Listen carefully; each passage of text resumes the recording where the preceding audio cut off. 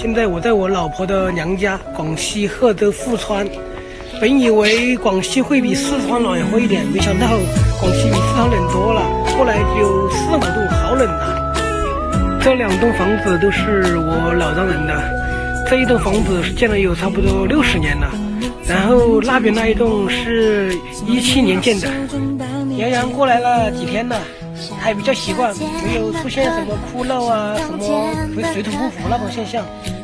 今天我们要去我老婆的二姐家吃饭，她姐的话是嫁到这个本村，离我老丈人家就一百米远吧。等一下拍一下广西这边农村都吃些什么菜给大家看一下。走，出发。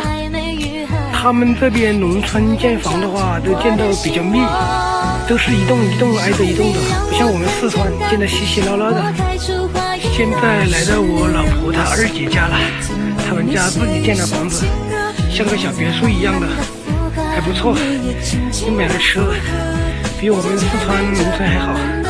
去看一下我老婆她二姐他们搞的什么大菜。哇，二姐搞这么好啊！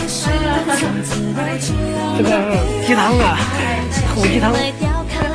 现在要开始吃午饭了，大家看一下，广西这边农村就是这样子。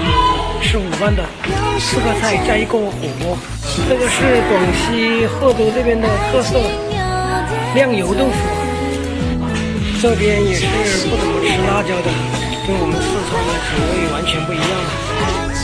这种吃法大家觉得怎么样？和你们那里一样吗？欢迎评论留言。好了，这期视频就分享到这里，谢谢大。